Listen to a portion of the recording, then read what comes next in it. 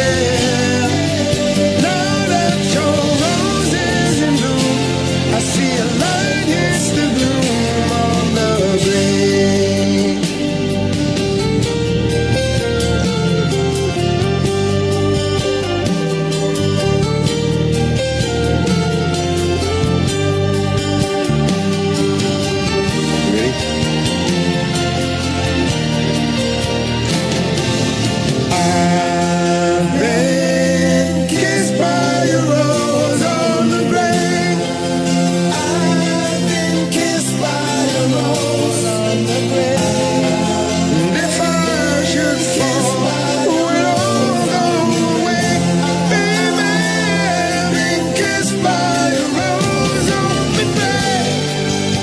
So much a man can tell you.